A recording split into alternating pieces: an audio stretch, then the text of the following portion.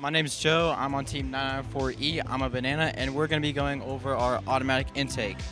So with our intake, we have two sensors that help with our automatic intake. At the beginning, we have a distance sensor which detects when a ring is. So if my hand in front of it, you see the intake starts spinning.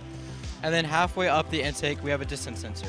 So if I push in this blue ring, it will score it. And then if I push in a red ring, it will throw the ring.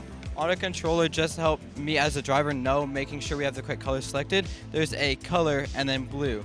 So if we're on the blue side and that says red, I will know that we have not downloaded our Auton correctly and we will be able to change that. So just to test our intake a few more times, showing it, scoring our blue rings and throwing all the red ones.